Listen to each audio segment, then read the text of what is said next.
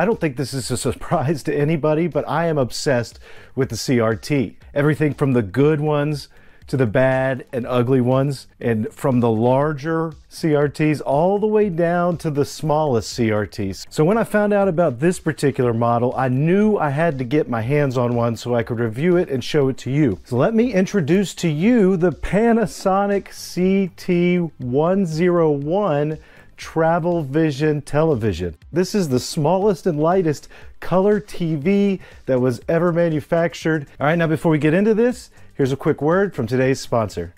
Today's video is brought to you by Adobe and their new article, Fast Forward, comparing a 1980s supercomputer to the modern smartphone. The article dives deep into just how powerful the modern smartphone actually is in comparison to the technologies of the past. The article goes back to the Apollo 11 guidance computer and compares it to the Cray 2 supercomputer that was developed in 1985, and then we jump up and see how that compares to a modern Apple iPhone smartphone. Adobe presents a wonderful illustration of how much larger in footprint size the Cray 2 computer is compared to an iPhone, and it also dives deep into how much more powerful the newer age smartphones would have been to these 1985 supercomputers.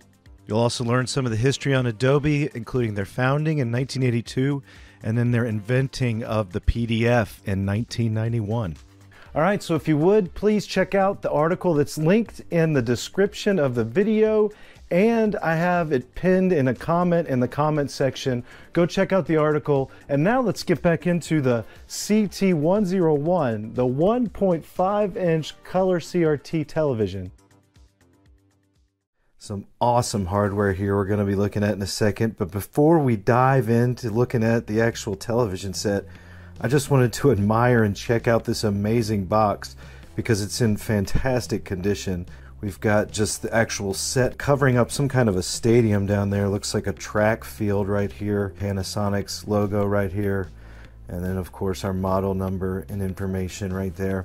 First off, this edge along here, we can see that this is manufactured by Matsushita Electric Industrial Company from Osaka, Japan. Over here, we have some marketing where we have a scene with some tennis players and then a band from like an orchestra. Here and this one actually has a extension on the screen. It's this detachable hood screen with a magnifier of 1.3 times so you could add that onto the screen and actually make the image look a bit bigger. We've got a car adapter cord here, a rechargeable battery pack, got our hood for uh, magnification on the image. We have an AC adapter, the headphones, and an antenna attachment unit. This unit actually does have an adaptable cable here where we can plug in audio and video from a composite video source. On this edge we just have the simple color television again, Panasonic markings. And then there's some other Panasonic devices from the 80s behind there that would have been sold what looks like some kind of a VHS player and um, channel tuner. And then this is the to-go setup where you could be camping and uh, take this little television with you, plug it into your cigarette lighter. So that's a really cool box. I'm just blown away that this is still all in one piece. The only thing different is we do have this uh, serial number. So wow, even that little additional sticker tag is still intact and on this box. All right, let's go ahead now and open this box up and see what we have on the inside here. And to open this box, we're going to take uh, a little bit extra time and care just because I don't want to damage this at all.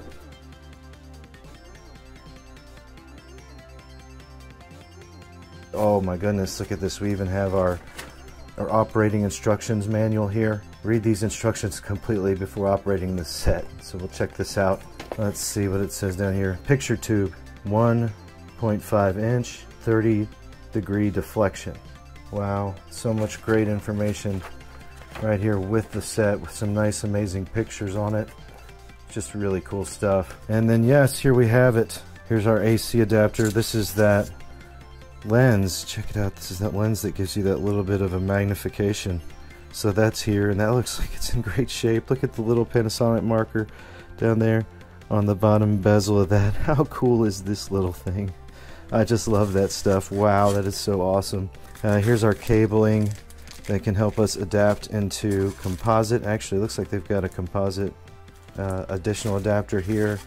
Some headphones. Oh, look at those headphones.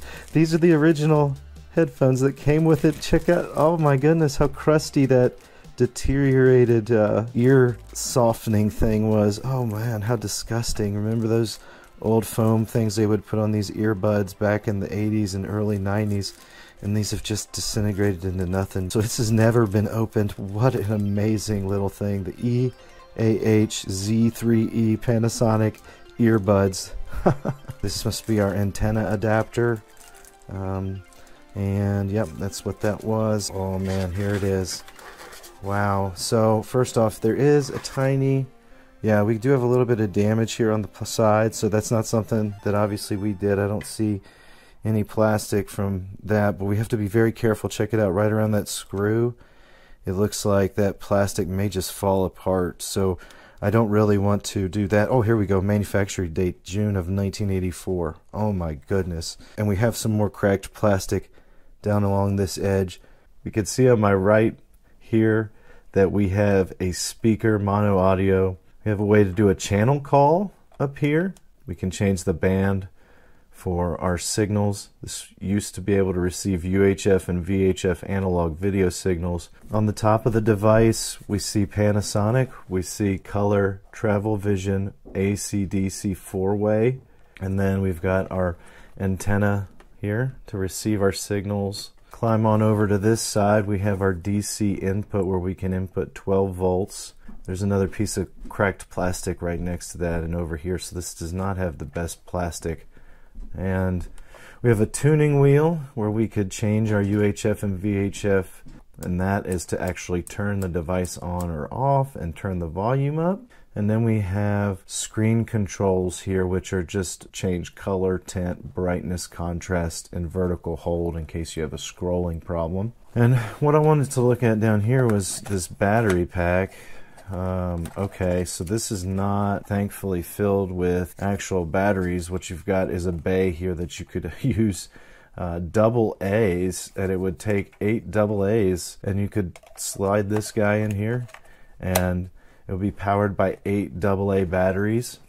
Now down here is this really nice high quality kickstand so that you could kick that up and hold it like that.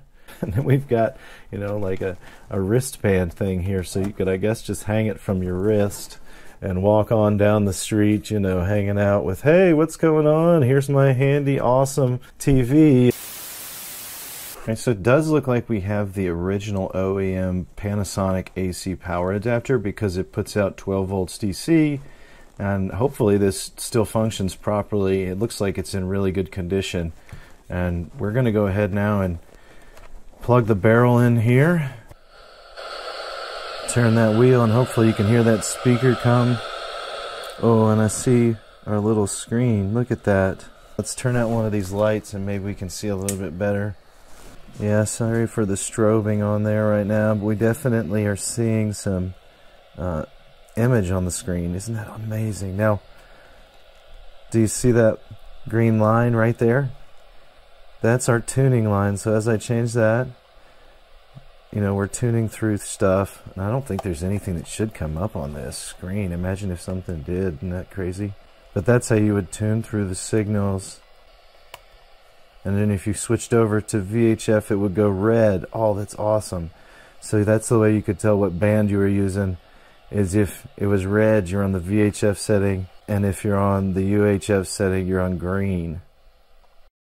We've got the Super Nintendo right here, outputting composite video, and our 240p test suite cart. We actually have on screen our 240p test suite down here.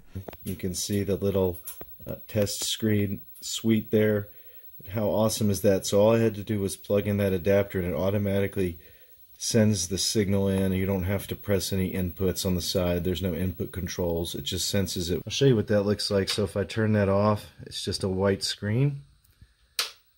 And then I turn the SNES on and it'll give me my little message there and pull up my 240p test suite. Uh, I think we should try to add this little attachment and see if that makes it uh, any better. Yeah, so that just slides right on there like that, clicks into place. Oh, look, we could actually maybe see something a little bit better. Wow. So yeah, that looks awesome inside that hood, doesn't it? Wow. So let's see if we could pull up. Man, I can tell that says the color bars. So you can see there. Wow, that's actually pretty good resolution because you can see the three different bars down there in the lower right hand corner just barely. And that's really how it should be set up. This is going to be the monoscope grid. Let's see how this looks. Oh, wow. So that's um, not bad, actually, right? Huh? You see that a little bit better? Let me see if I can turn down. Yeah. And the screen's not perfect, but wow, that's just something incredible to see. Um, again, look at how small this is. This is what the whole setup looks like. And then I just zoom in here.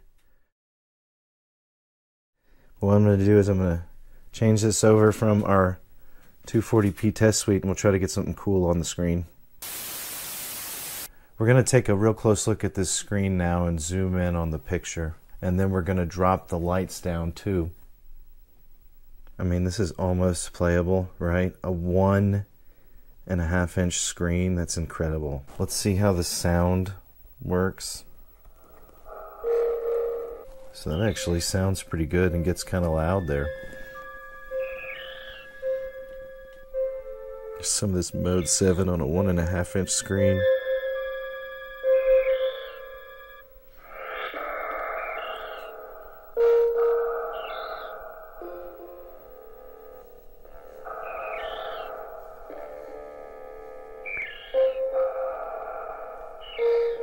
Can almost read the Nintendo at the bottom.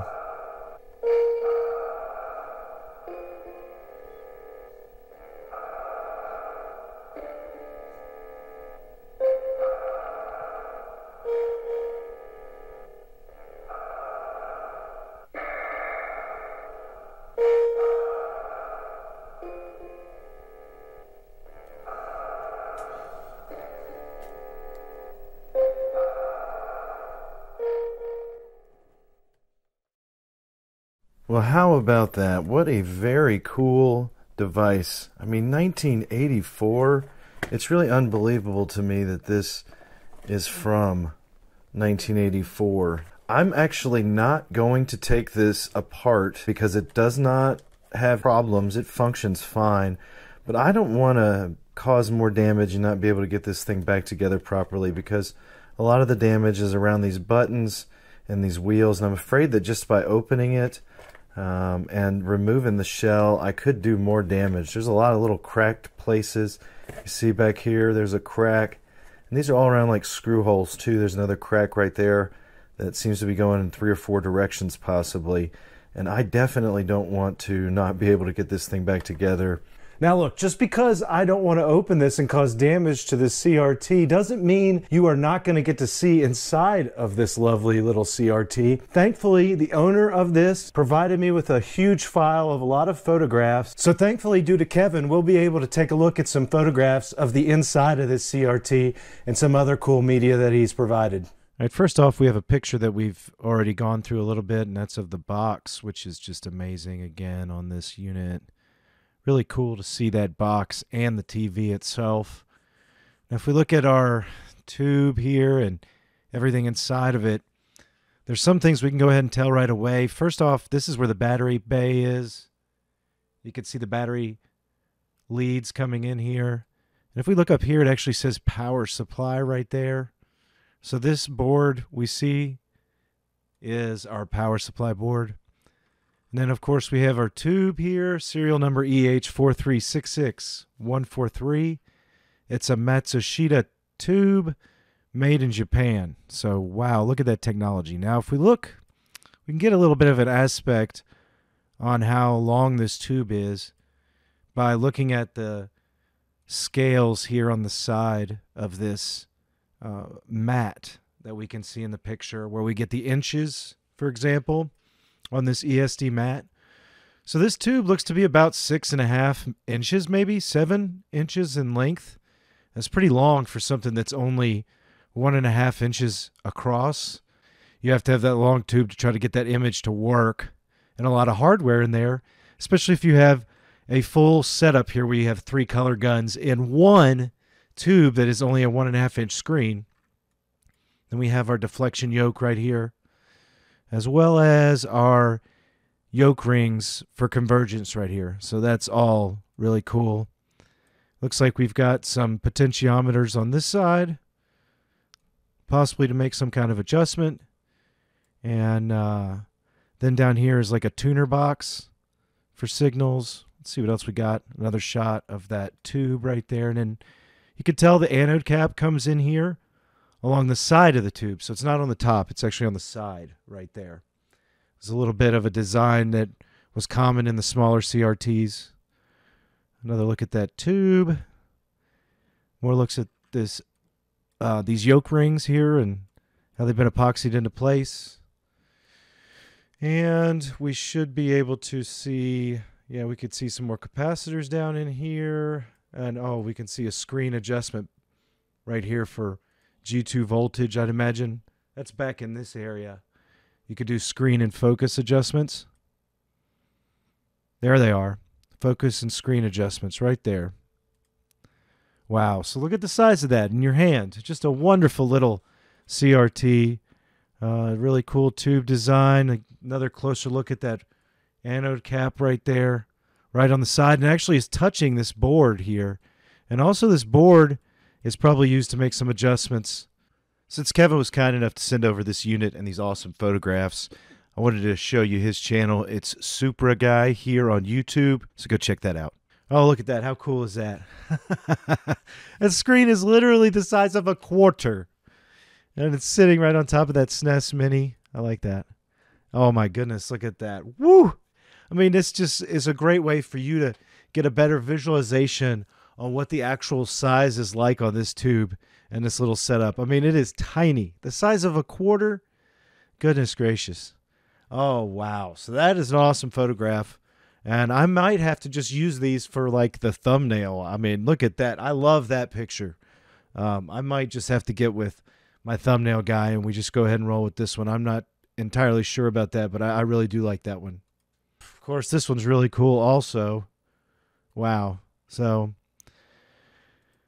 just an incredible piece of hardware. Now, what I do want to show you is some of these amazing screens right here. We can get really close with the photographs we've been provided. So these are just pictures of those calibration screens from the 240p test suite. And we're going to get in here and look at some other pictures that he sent. Check this out. You can see here we have a little bit of a red push, a little bit higher red. But look how far we can zoom in on this photograph. You can actually see where all the white, all the white really is, is a combination of every color right there. Look, you get red, green, and blue all hitting the mask of the shadow mask right there and the tube. And that's what's creating the white image. So the closer we get, the more we can just see how cool is that. I mean, you see the solid blue, the green, and then the red. And then you can tell too down here, like when you're looking at this text, just look how crazy it looks. Like that's supposed to be the letter E in white. Wow. Amazing, amazing photographs here. Um, another one where you can zoom in and see how different these colors are. You see, this is a white bar where we have all of them lit up at the same time. And then you can get the mixtures of colors by adding some blue and some green together, some red and some green together, and all of it. And then when you back out, that's what the image actually looks like. So we're not going to have the opportunity with our naked eyeballs to get this close and get this kind of an image. And I can't believe these photographs. These are just fantastic. Another one of our color bars here so we can see, you know, that gradient change. And pink, for example, how it's just a combination of a little bit of blue and red right there. That's awesome. Now check this out. We get super close in here, this looks like some kind of I mean, this looks like some kind of cell activity. And I mean by like cellular level perfection on um, you know, breaking down DNA or something. This looks crazy to me. I mean, look at this photograph. This is white. It's supposed to be all white lines on the edge here. I believe it's supposed to be red. But wow, look how that looks when we get super close to that photograph. If we zoom back out, that's what it looks like on the screen. Unreal. Another one, another pattern. You can see the same kind of effect here. as we get closer. Just looks so cool. And there we go. Now zoom in here on Super Mario and you can kind of see some craziness in here. And that's what the real screen looks like. Like you zoom in. And again, it's just combinations of those phosphors being lit up. Anyway, thank you so much, Kevin, for these awesome photos. I just love them. All right, guys, this is a wonderful little color CRT set. And more than likely, this is the smallest color CRT television in the entire world. Now, finally, I want to say thank you big time to this video sponsor, Adobe. Please, again, do me that favor and go check out the article that's linked in the description of the video. And then there's a pinned comment below with the link there to this article. Also, I really think you're going to enjoy it. And I will see you all next time with some more retro content.